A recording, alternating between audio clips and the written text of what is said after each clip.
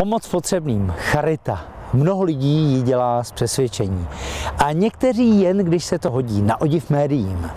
Můj kamarád, který vystoupil jako první Čech na Mount Everest, odpověděl novinářům, kteří se ho ptali, jak trénoval poslední dva měsíce. Everest se neptá, co si dělal poslední dva měsíce. Everest se ptá, co si dělal celý život. A tak se podívejme, jak je na tom s charitou inženýr Andrej Babiš. Pane inženýre, jak dlouho už eh, děláte charitu? Není to jenom nadace Agrofert, vy jako člověk? No strašně dlouho, to ani nevím. To určitě více než 10 let. Ale já jsem to dělal velice nestrukturovaně. Četl jsem dopisy, které mi lidé psali a podle toho jsem vždycky tam napsal nějakou částku a dal jsem to do účtárny a účtáren to zaplatila, takže to bylo nesystémové. No a potom ten počet dopisů narostl tak jsme založili nadaci a teď vlastně to děláme, jako, jak se to má dělat správně. Eh, takže to bylo proto, že jste cítili jistou odpovědnost eh, člověka, který může pomoci, tak jste pomáhal. Ne, tak určitě, tak já jsem to nedělal kvůli tomu, aby to bylo někde v novinách, nebo aby se o tom nějak mluvilo. Teďka je to trošku jiná situace samozřejmě, protože lidi se občas ptají, že jestli pomáhám, že bych měl, a já jsem si toho vědom, že, že jo a dělám to už dlouho, akorát jsem to každému nevěšel na nos. Co vás z těch velkých projektů, eh, eh, které se inicioval, nejvíc potěšilo?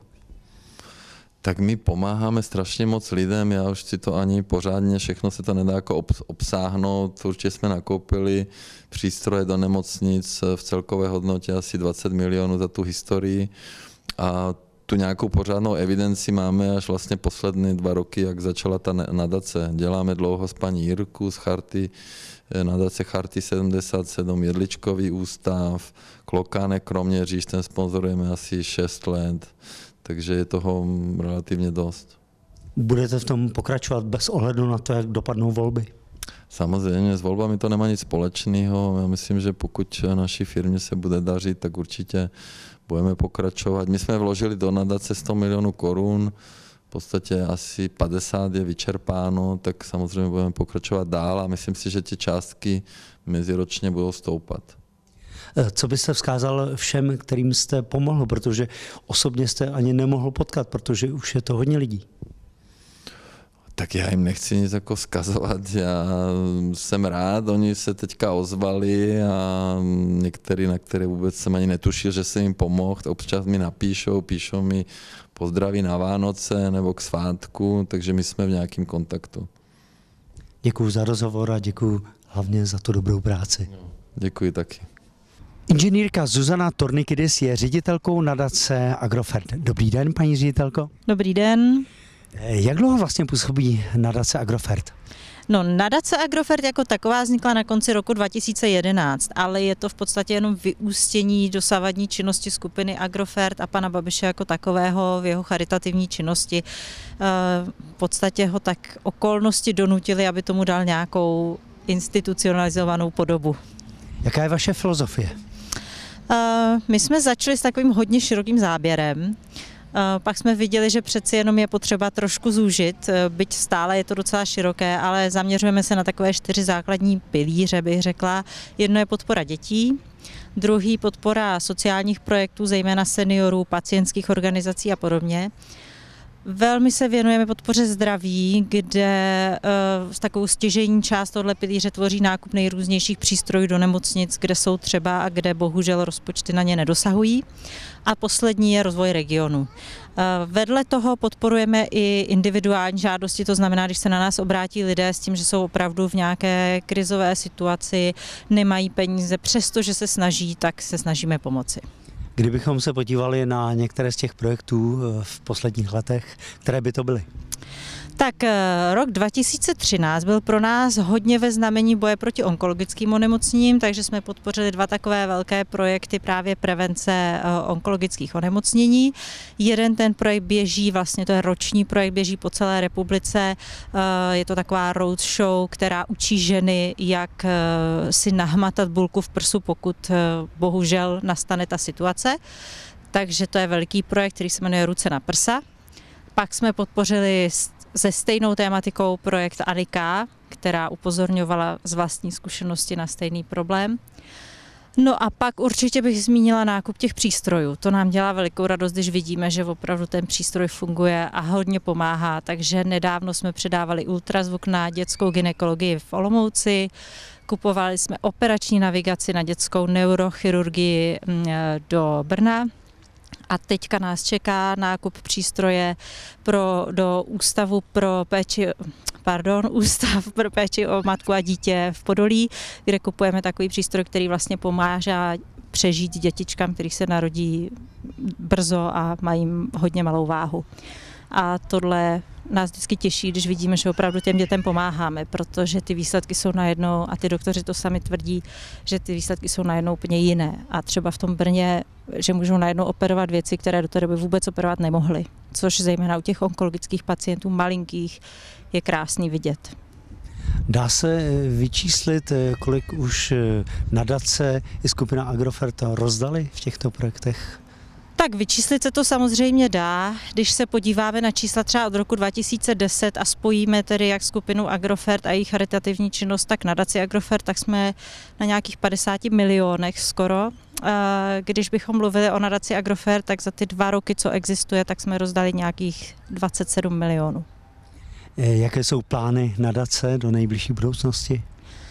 Jak jsem řekla, tenhle rok jsme věnovali boji proti onkologickým onemocněním. Příští rok bychom rádi věnovali péče u seniory. Máme připraveno několik projektů a vlastně už tak trošku startujeme teď, protože eh, nadace podpořila vánoční charitativní koncerty paní Marie Rotrové a výtěžky z tohoto koncertu půjdou právě na podporu domovu důchodců a příští rok se budeme věnovat podpoře péče o seniory nejenom v ústavní péči, ale i v té hodně důležité péči v rodině, kde si myslíme, že pořád je ještě hodně co zlepšovat v České republice. To, že dnes děti málo sportují, všichni moc dobře víme. Ale ruku na srdce, co proto děláme? Kolik dětí má možnost dostat se na dobré hřiště nebo třeba trénovat pod vedením profesionálního trenéra? Pojďme se podívat za těmi, kteří proto něco dělají. Jakub Večerka, ředitel Agrofert Sportovní centra. Hezký den, Jakube. Dobrý den i vám. Jaká je filozofie Agrofert Sportovních center? Tak vlastně filozofie je, že chceme dostat děti od eh, počítačů a vlastně ze sídliš a chceme jim nabídnout sportovní program eh, při jejich odpoledních volných chvilkách a, a aby to měli za co nejméně peněz a za vlastně co nejblíž, když to tak řeknu, aby eh, se eliminovaly všechny vlastně problémy, proč děti dneska nesportují. Eh, vy už to vlastně praktikujete eh, v pilotním projektu v Praze. Eh, jak to tedy v současnosti vypadá? Tak v současnosti to vypadá velmi dobře, poněvadž již ze září, když jsme projekt spustili, se přihlásilo zhruba 400 dětí, což odpovídá 95% kapacit v těch všech tělocvičen a v tuhle chvíli vlastně budeme projekt vyhodnocovat a do budoucna budeme chtít rozšířit. Jakých sportů se to týká? Tak vlastně zatím se to týká těch dvou nejmasovějších basketbal a florbal a to z důvodu, že nechceme ty děti nějak omezovat. Vlastně florbal i basketbal jsou jak pro holky, tak pro kluky a není potřeba žádné speciální vybavení, pouze vlastně tričko, obuv, trenky, co mají děti na tělocvik a buď dostanou na tréninku hokejku nebo balon. Jak často mají tréninky? Tak trénuje se dvakrát až třikrát týdně, záleží vlastně na dostupnosti tělocvičny v té dané škole. Dneska je všechno o penězích. Eh, kolik děti platí?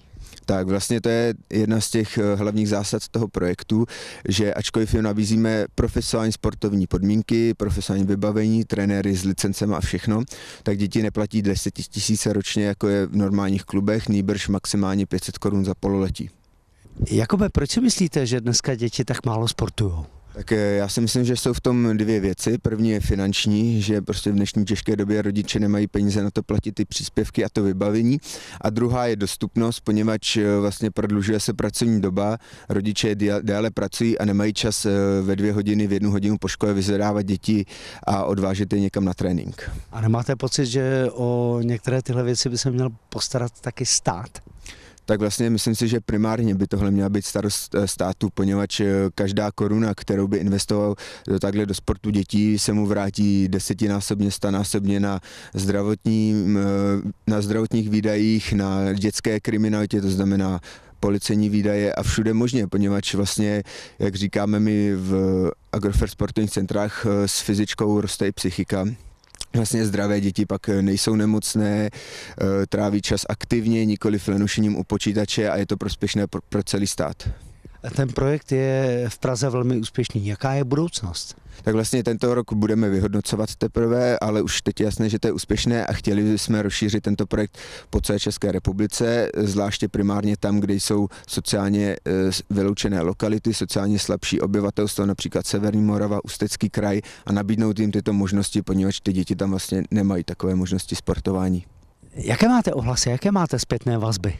Tak máme vlastně zpětné vazby jak od rodičů, kteří, kte, jejichž děti naštěvují tyto centra, tak vlastně od lidí, kteří se o tomto projektu dozvídají z médií a vlastně i hned po zveřejnění v médiích jsem měl několik telefonátů, několik e-mailů od eh, rodičů, eh, jejichž děti nemají takovouhle možnost, v jejich školách není takovýto projekt a že by měli velký zájem, aby se tam tento projekt uskutečnil. Takže v tuhle chvíli už máme zhruba 10 až 20 žádostí o to rozšířit projekt v Praze ještě tento rok.